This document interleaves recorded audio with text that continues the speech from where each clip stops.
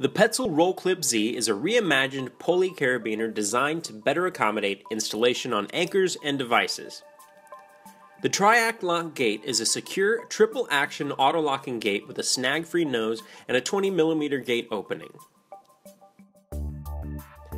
The H-frame design of the carabiner section of the RollClip Z reduces the weight of the system to 110 grams, while keeping the major axis strength at 20 kilonewtons of force. Since the gate on the RollClip Z opens on the non-pulley side, it's easier to install on devices, even when you've already installed it on a 13mm rope.